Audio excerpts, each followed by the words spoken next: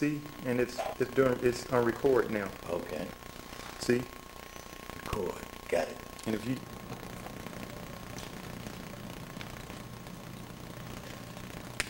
Oops, my light went out. Why did my light go out?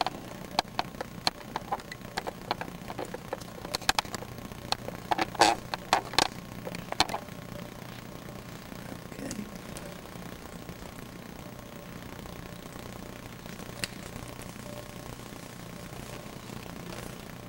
Now, Judge, I am going to introduce myself, and then I'm going to introduce you as our guest for today. And I'm going to ask you whether I have your permission to do this interview. Of course, you give me an affirmative response. Of course. Of course. And then I'll ask you a little about your background. Okay.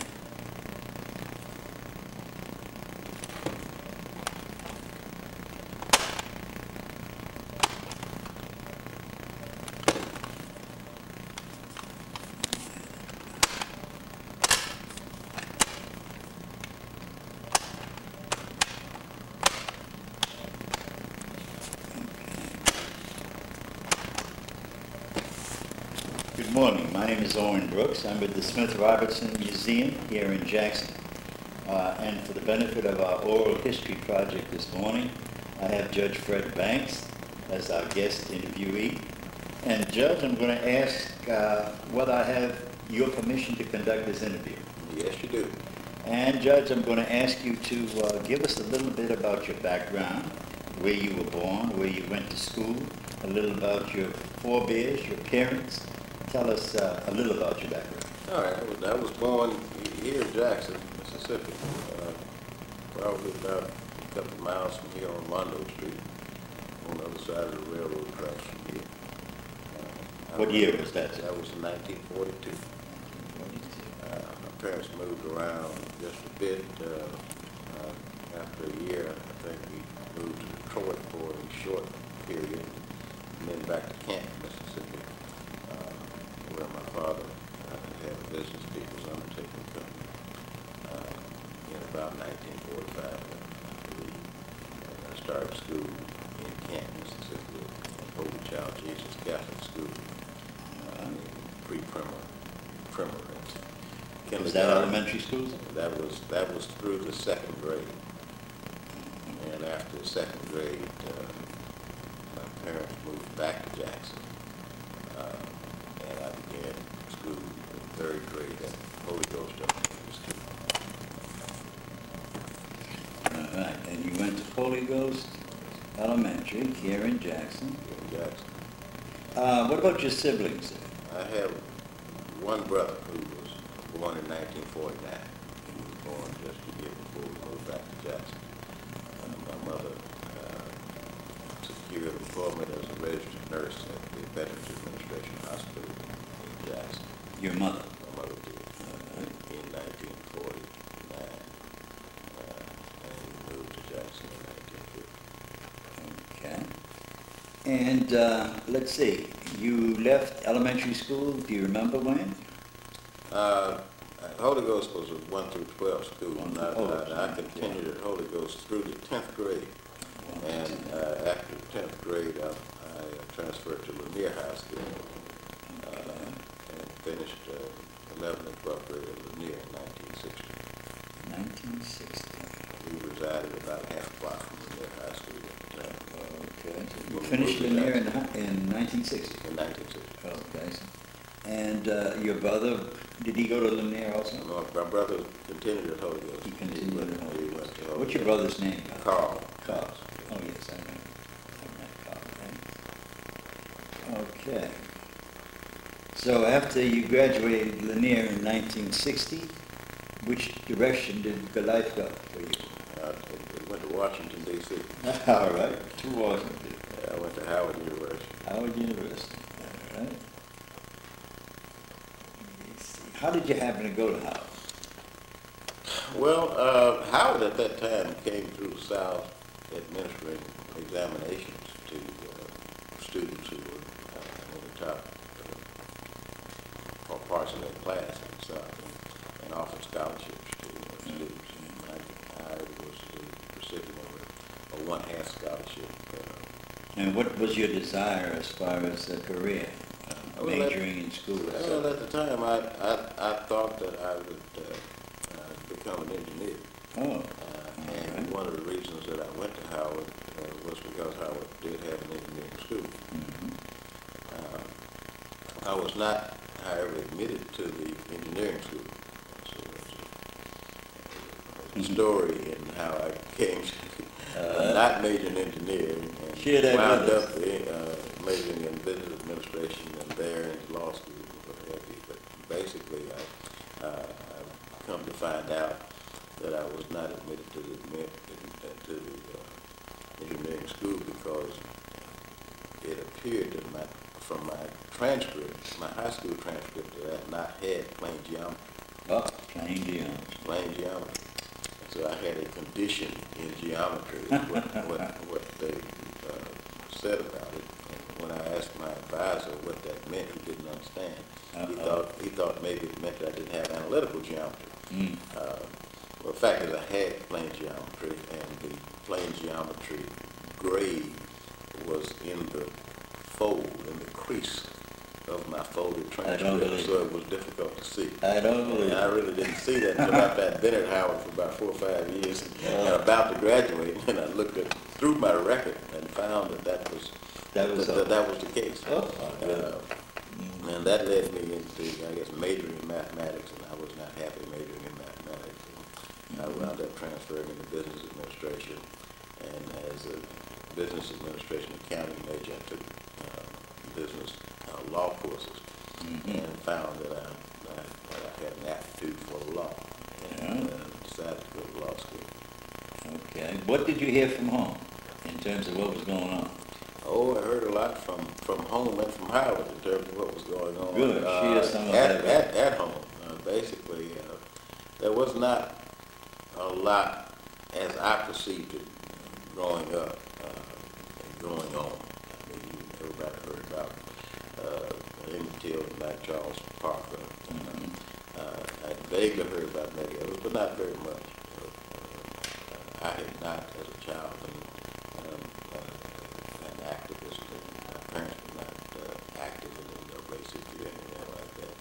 Uh, even though you know, my uncle was uh, was the person who, kind of answered answered the call for the 100 that were gathered Your in, uncle? in 19 Uncle Earl Banks. Okay, tell me about your uncle. He came to the March on Washington, is that what saying? No, he didn't come to Mount on Washington. I was referring to the, uh, the incident when, uh, when Brown versus Board of Education Oh, was handed down and a group of black leaders were summoned to, uh, to Jackson, Mississippi with the intent of having them, Brown This was at the behest of the governor. at the behest of the government. Yes, I, I know a little about that. Yes. What did you hear about that? well, all I heard was that they told the governor no. Did you- Oh, Okay. And uh, that my uncle was the, was the spokesman to, uh, for that purpose, the initial spokesman for that purpose, and I think that's, Mhm. that's, that's recorded in, in, uh, in Aaron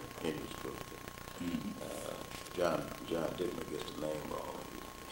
Yes, He calls it yes. Charlie Banks, and I think that's just a scrivener's error. It was, it was Earl. It was Earl, Banks. It was instead of never- it was- Charlie. It was never known as Charlie. All right. Uh, So me- my uncle was a community activist. I don't know whether he was uh, in any way involved with the NAACP or any, uh, anything uh, like a civil rights movement. Mhm. And uh, my recollection in 59 and 60 that there, there wasn't a lot going on. Okay, you heard about the Freedom Riders coming to Jackson? The Freedom Riders came after that. Okay, sixty-one, I guess. No, they came, in, they came in, yes, in 61, summer Mhm. 61. You're right. Uh, and Freedom Riders in- included people that, that I knew. Ah, okay. Stokely Carmichael was one of the, one of the. Oh, you were in school with that I was in school with time. Stokely. We got, we got to Howard at the same time. Oh, yeah. And in fact, um, you know, most of the guys, I won't say most of the guys, a lot of the people who were from Howard, uh, associated with, uh, uh, with SNCC and other organizations were, were people who were either got there with me or just ahead of me. Uh, Right. uh, It was Courtland Cox at the Undying. Courtland? Oh, yes, Courtland was at Howard then? Courtland Cox and Dion Diamond shaved my hair. Oh, my goodness. Ed Brown? Last me as a freshman. Ed was there too. Ed was there too. Ed, Mm. Ed Brown and I wrote the train together to, uh, to, to Howard. He was coming out of Baton Rouge and I out of Mississippi and I would catch the uh, Southern Crescent over Uh-huh. Uh, So y'all went to Howard together, we traveled to Howard Howard together, together. Right. Well, not the first time, but, but uh, I think when I returned to Howard, Ed was on the train and I think he and I were on the on the train going to Howard. Uh, so that, that, that group of people were, uh, uh, was, was around me. Uh, What about activism on the campus? That was Were you some, aware? that was, I was, aware- well, the, the first, I guess, Stokely was an activist wherever he was. Mm-hmm, true And enough. the first picket line that I ever walked was one that was organized by him. Ironically, it was, a- it was a, a counter picket to uh, George Lincoln Rockwell, Oh. who was picketing the, the movie The Exodus, Mhm. or Exodus. And Stokely and, and one of his friends from high school, uh, who was a, a Jewish fellow at uh, American University, Mhm. uh, put together a counter picket. And pretty people go and do that. And I, See, Mike Thelwell was there too. Mike Thelwell was a, was an upperclassman, I think he was probably a year or two ahead of us. Mhm. And, uh, Okay. became the editor of the Hilltop. Of the uh, paper? The paper. The paper at Yes. Mhm. All right. Okay, did you come home summers or did you stay in DC? I came home in the summer of sixty-one. Oh, okay. I came home, Stokely and others had come uh, to Mississippi and got arrested in the free, in the Freedom Rides. Right. Uh, and, uh, in fact, I, I, I went and picked up Stokely and, and Tougaloo and a couple of others to take them to their court appearance, uh, in Jackson later, later on that summer. Mhm. That's the summer of sixty-one? Summer of sixty-one. Mhm. All right. And Because Okay. I heard, uh, of the, uh, of the library sitting in. 'cause I was- Oh, I yeah, was the away Jackson Library City. Jackson Library City, and I heard about the zoo, sitting in the zoo benches and whatever, which was somewhat surprising to me because I, I'd never not sat on benches in, in the zoo. Of course, Mm. it may be that sat on was not disturbed. Uh, You knew people like Colia and? Yeah, Col- organized it? Coley, Liddell was a year ahead of me, Lanier. Yeah, Oh, Yeah. okay. And who else did you mention? That's who I mentioned, Yeah. Colia Liddell. Yeah. All right. I'm going to interview her this weekend in New York. Yeah, good, Yeah. good. Yeah. And uh, you knew about the organization of the Youth Council in North Jackson? Now, that I didn't know about. I Didn't was, I was kind of, I, I, I think I vaguely understood that Coley was, was involved with, with, uh, Mm-hmm. the NAACP or one organization, but I didn't really know what it was. What about the Tougaloo students that were involved? Did you know some of them? Uh, if you name them, I probably, involved at what time, at what During point? those uh, early days in six- 61, 61, 62, 62, I knew some of them, yeah. Yeah? Yeah, uh, well, in, in sixty, in sixty-one, uh, during the summer of sixty-one, uh, that were, that was recruitment basically on the streets to, to the movement. And two of the people who were recruited were, uh, good friends of mine, one Jimmy Travis, Jimmy and the other one was Harold Keelan. Okay. And Harold and Jimmy first, uh, went to McComb, uh, to be involved with voter registration efforts down in McComb. Down got it. Jesse Harris? Huh? Jesse Harris from, was from here. I see Jesse all the time. I, kn- yeah, I I knew Jesse Harris vague, but not as well as them. Okay, that's good. All right. Jimmy and, uh, Jimmy went to Tougaloo he may have. during that time. Yeah, he was a year, he was a year behind me in school. In school. Uh, Both Harold and Jimmy I knew from Holy Ghost. Been, uh. How about Sanders? Which Sanders? That would be uh, the judge down in, uh, in, uh, Everett? Not Everett, no. Everett, yeah, Everett. Well, Everett, Everett was at Lanier for his senior year, I'm pretty sure. Everett was, he was behind me. Oh, he I was on there? Lanier for two years. Oh, okay. Uh, the, the fif- uh, 58, 59, 59, 60. All right. And Everett was three or four years younger. Oh, oh, okay, I didn't realize that. Well, we old men. Okay, now which way did life turn then? After, guess he graduated Harvard here, In 1965. sixty-five. Yeah, I was gonna say that, that also at, at Howard, we did some sitting in, in, in Baltimore. Mm, Oh, mhm. Sto- Sto- again, Stokely and, and Ed Brown were organizing, uh, helping with the, with the movement in Maryland all and, right. and sat in restaurants in Baltimore. Uh, what But after that, I just struggled to try to get out of school. Okay, but you heard about the summer of sixty-four, yeah? I heard about the summer of sixty-four. Uh, Did you come home that summer? I, for a brief time. Brief time. brief time. For the, after, after the summer of sixty-one, I never spent a full summer, uh, in Mississippi. Uh, right. Uh, I, uh, spent the summer in Washington working. Ironically, I was in Jackson during the March on Washington.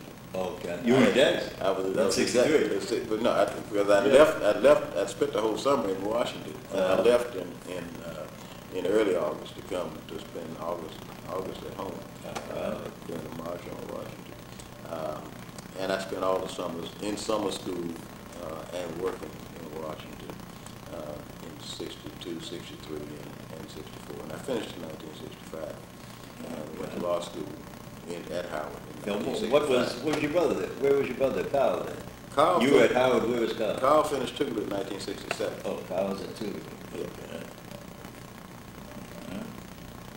So, how, tell us how you got to, uh, law school. I, uh, applied and was accepted. Basically, just- as I, as I said, I, I, uh, I, I took business law courses, Mm-hmm. uh, in, in, uh, in my undergraduate uh, pursuit. Um, Met lawyers, uh, one of, one of my professors was an adjunct, who was a, a lawyer and a CPA. And I think I had aspirations to be a lawyer and a CPA as he was, uh, at that time, but I, I, I enjoyed the law. And during my last year in undergraduate school, my roommate, my apartment, the guy shared an apartment with, was a, a first year law student. He was the guy who started out with me. Uh, the guy who went finished to on time, yeah. Oh, who, who was that? John Peavy. John from, Peavy. uh, Where's he from? He's from Houston, Texas. Oh, Houston, Texas. Oh, okay. And so that, that, that gave me an exposure to, to. Had to law- apprehensions to about law to students. Miss? What? Did you have apprehensions about going to Ole Miss during those days? I, I did. I didn't think that Ole Miss was, was really an option. And uh, partially because, you know, my grades in undergraduate school weren't the best. Mhm. I had such a struggle getting out of undergraduate school. I didn't, I didn't look at many options other than Howard Law School. Mm. Um, And I, I, I, but I did think about going to Ole Miss because uh, Reuben, uh, Okay, Reuben Anderson. Reuben Anderson. entered- Was he a childhood friend? Yes. Okay. We- we- Tell us about that. Reuben, Reuben came to Holy Ghost, I came in third grade, he came in fifth grade. Uh-huh. And so we were uh, classmates, uh, fifth through tenth. We decided together uh, uh, to leave and go to the public schools, pursue Mhm. athletics and other things. And he went to Jim Hill and I went to Muir. So we remained friends from, uh, from, from fifth grade. Were you all in law school together? We were in law school at the same time. During the same but, time. uh, Reuben uh, finished Tougaloo in sixty-four and started at uh, law school at Southern in Baton Rouge. Oh, okay. And he transferred to Ole Miss in sixty-five, In which was the same year that I entered Howard. Oh, Yeah, so and he's I a little did- ahead of you. Yeah, and I did consider uh, transferring to Ole Miss, but uh, I got to Howard and started having a good time. Decided to stay there. Yeah, you can do that in Yeah. in Howard. Yeah. Yeah. I mean, just a good time in law school. I was, I was, uh, uh, enjoyed law, law school a lot better than I did undergraduate school.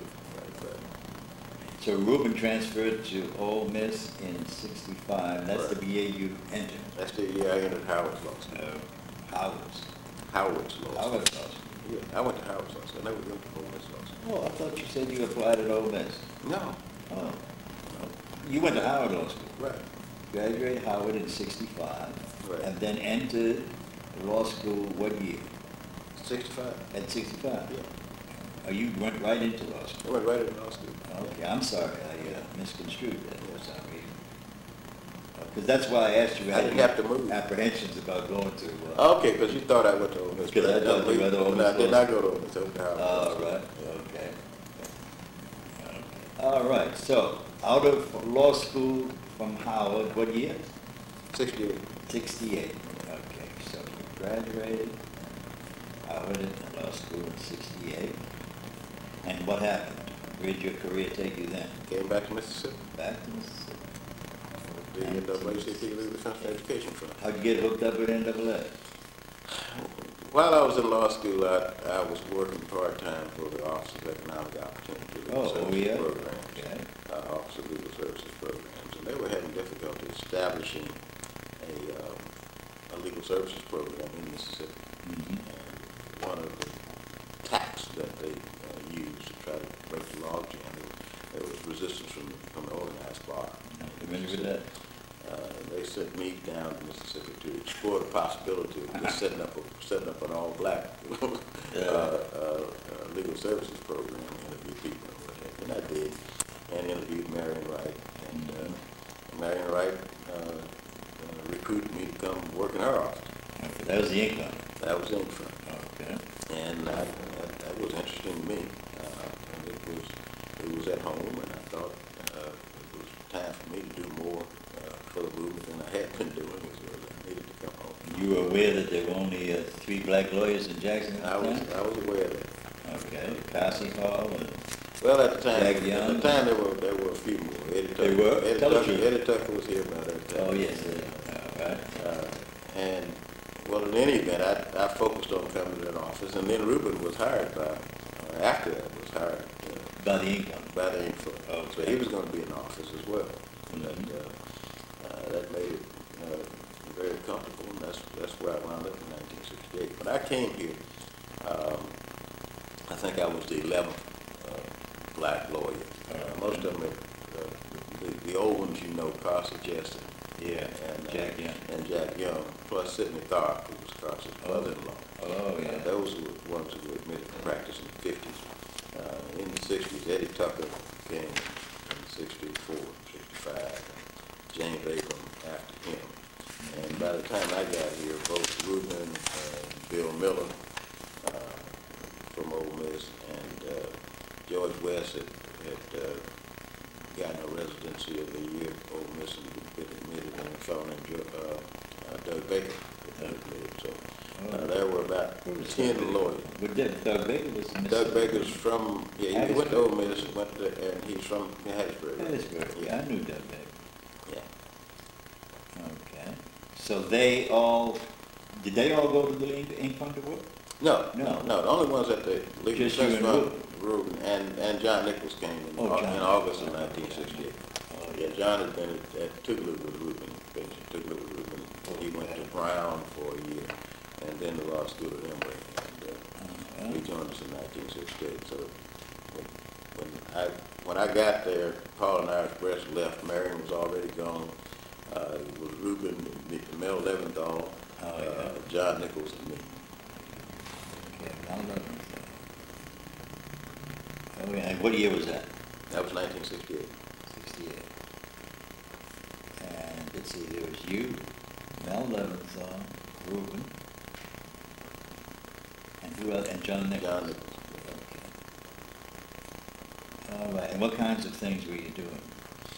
Mainly. School cases? Mainly school cases. Okay. Mainly school cases when, when, uh, uh, Green versus New Kent County was handed down by the Supreme Court in May of nineteen sixty-eight. May I Explain that. And in Green versus New Kent County, the. uh, Newton County? New Kent, New New Kent County in Virginia. Oh, okay. Uh, That was the case that said that the freedom of choice is not enough. You have to Oh, have, you have to have plans that work and work now. And uh, our task was to file motions for new plans. By that time, most of the school districts had adopted at least a freedom of choice plan. Mhm. Uh, And that produced very little uh, desegregation, school integration, and none in the black schools. Good. Um, And we began to file motions in all of the school districts. In all the school districts. that, uh, Yeah. To, to get new plans. And we, that office represented uh, all the private plans that brought school desegregation suits in the state, except for one county, that is Marshall County. I think that, you know, some Memphis lawyers uh, were representing plans in that county. Oh, But all the rest of them all throughout the state were, were represented by our office. All right. That was, that was the only county in the state that was not represented by you all in terms of. It was a legal defense, it was a legal defense fund case, but Yeah. it was the only county that our office didn't represent the plaintiffs. Mhm. Now, there were other Justice Department cases as well in, in the state All right, that, that did not involve private plaintiffs. Was, okay. uh, And later, uh, uh, the, uh, no, Mississippi Rural Legal Services filed one. Uh, Okay, yeah. Remember that. Let's see, I remember the, I was in Bolivar, and Marian rep, Right. Marian represent- represented the, uh, Bolivar County School case, I remember. Yes. John Pearson. Yes, yeah, yeah. I do. Yeah, Bolivar, all the, six school districts in Bolivar, we, we had sued five of them, and we did not sue Mound Bayou. I remember that too. Yeah, yeah, That, that, that was a part of our, uh, yeah, we, that, John Pearson was involved in, uh, in, in one of those districts. Uh, Mhm. uh, I forgot the guy's name from Cleveland. He was Walter Sillers' son-in-law.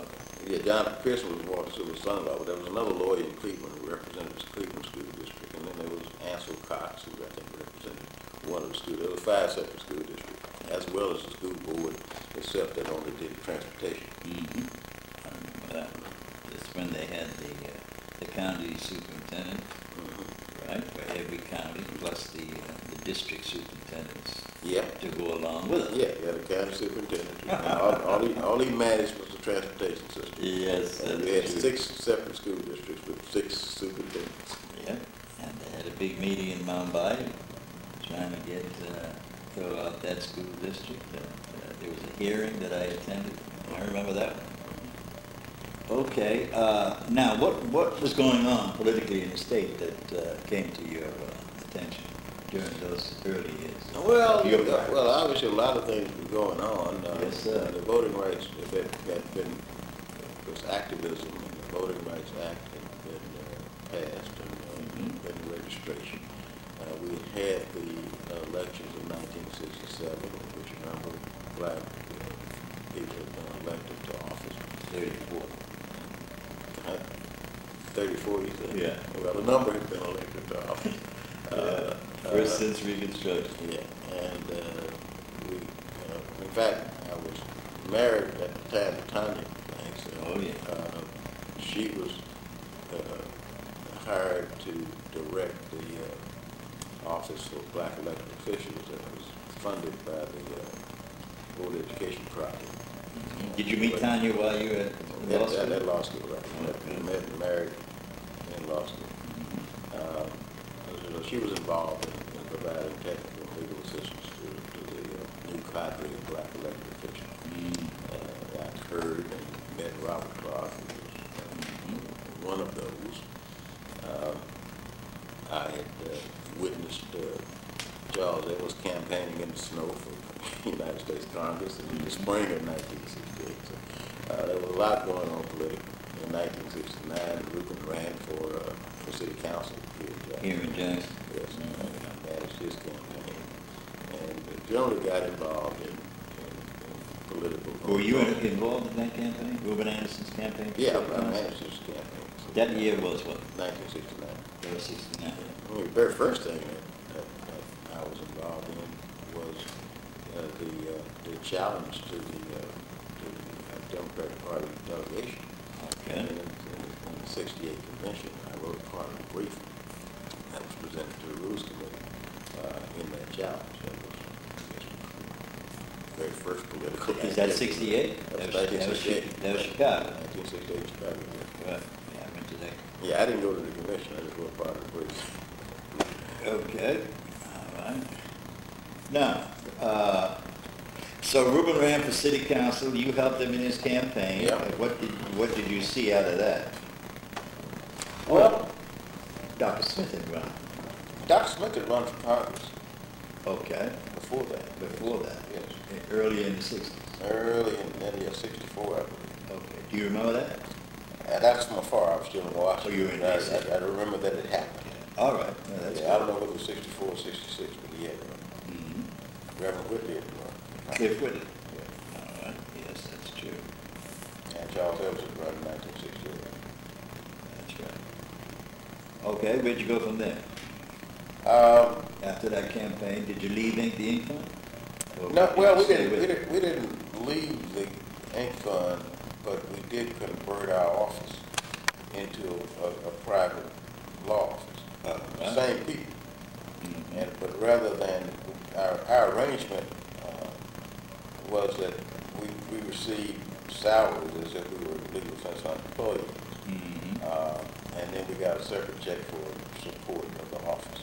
Okay. Beginning in nineteen sixty-nine or early seventy, uh, that arrangement was changed so that we got a retainer, a Okay. flat retainer from From the the legal defense fund. Right. And we just operated on that and we them with further expenses that we had as we incurred. But we received a retainer from the defense fund. Okay, one thing I didn't ask you about. I didn't ask you about the, uh, the James Meredith episode at Ole Miss and what you observed out of that. Where were you then? I was at Howard. You were still at Howard? I was still at Howard. Because that's 63? Yeah, it was 62, so wasn't it? 62. 60. Let's see, it was before Medgar got killed. Well, yeah. Well, was killed in 63, so yeah, I, that's it, right. it was 62. It was 62. September 62. September 62, yeah. I met, uh, met uh, Meredith Jones on 61.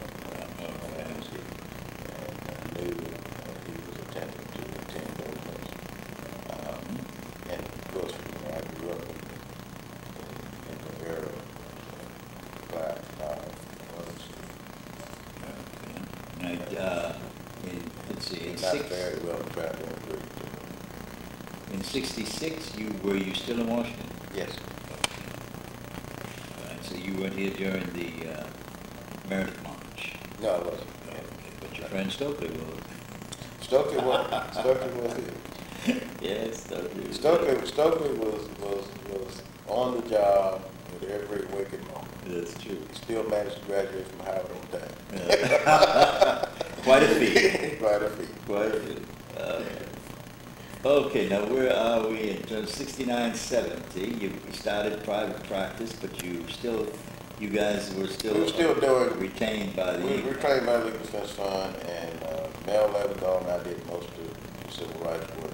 And Okay. Reuben and John Nichols were doing, uh, the, the non-civil rights work. Uh-huh. Mhm. Okay, and was that was mainly school cases still, right? School cases, mainly school cases. We did school cases, we did some voting rights things, we did some public accommodations, uh, did some housing cases, uh, but the mainly school cases. Mainly school. So And we also represented the, uh, represented school teachers. That- That's an output of school cases. Oh, okay. we were representing, uh, teachers, uh, were supported by, uh, by, by NEA, uh, NEA, NEA, uh, some teachers association, we represented the teachers association. oh, yeah. So teachers who were losing their jobs, we also represented. You represented some of them? Yes.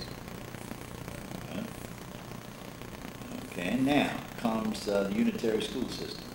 Yeah. How'd that come about? How did you see that? There was a lot of, lot of struggle. Well, I was idealistic and uh, still believe that a unitary school district would, would lead to better things, uh, better education at, at some point, but a Mhm. better society in general. Right. Uh, uh, Speaking, I'm thinking long term. Uh, It came about uh, fairly easily in some districts. Uh, It became unitary, but sometimes it became all black. Uh, Well, you have to Many of the speak. whites left. You have to speak about the flight, white flight Yes, that, that. that- private schools. That is, that's exactly, that, that happened. Uh, Right. I think at the, at the, height of it, about 10, 12 percent of the white public school population left the schools. What percentage did you assess?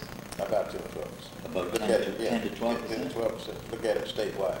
All right. Of the, of the white school-age children, about 10 percent of them left the school districts, the public school districts. Mm-hmm. Because they left, because they left, they- but they left, they left in droves in the areas where there was a black majority. Exactly right. So, yeah. And a lot lot of those were counties, that's really not. And they left in places like Jackson.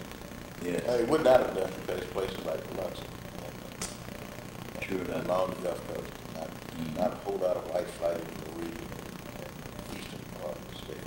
Not In the Delta, not- not a lot of- a lot lot of it in the Delta. Academies opened Yeah, up. yeah, but, but generally speaking, those are smaller white school populations.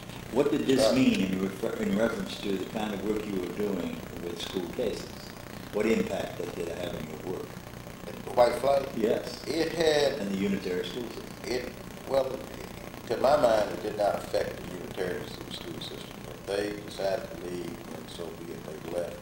Uh, to some extent, it, uh, it uh, provided an escape valve for some tensions that might have, might have been there had they not left.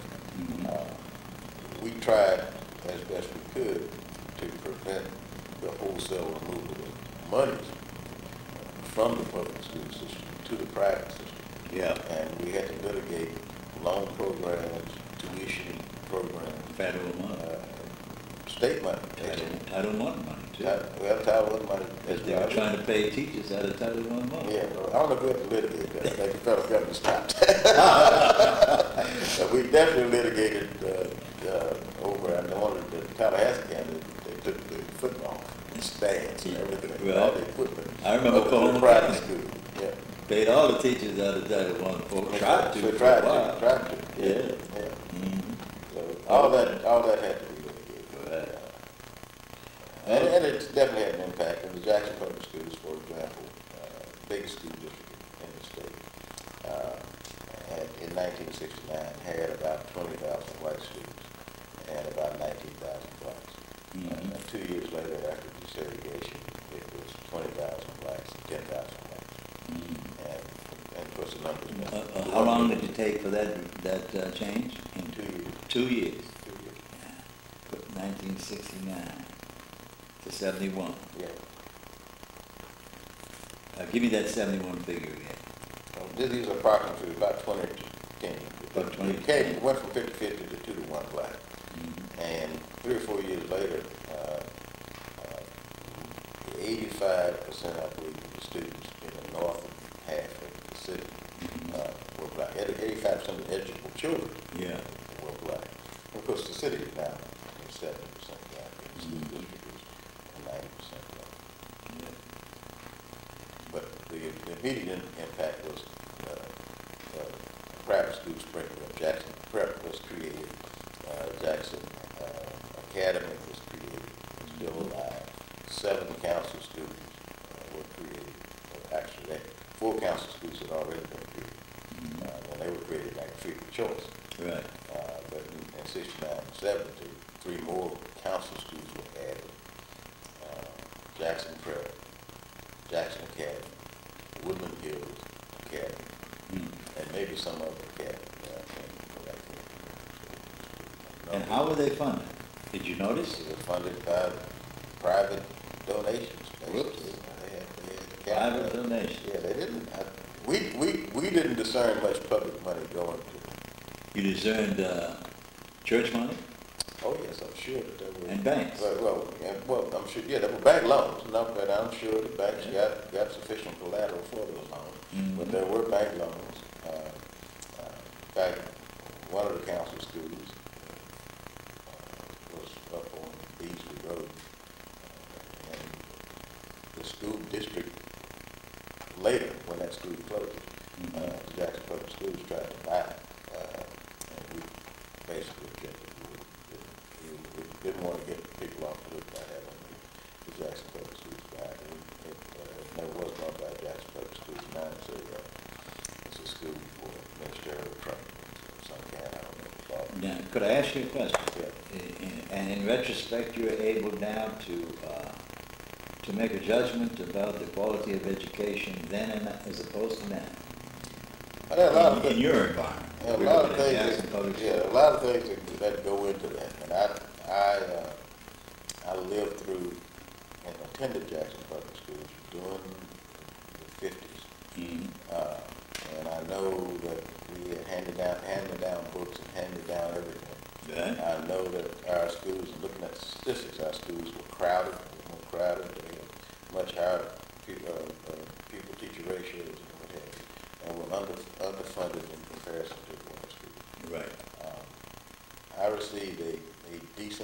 condition at Lanier High School. Uh, But I know that when I got to, and I got the English award in my senior year, I got the math award in my sen, uh, in my senior year, as the physical education award in my senior year at Lanier. But when I got to Howard University, I was put in remedial English, Remedial. remedial English. And math too? And, and, and, and I was told I had a condition in math. I was not put Yeah, in. because- I was not, that, that was just an error. I was not put in.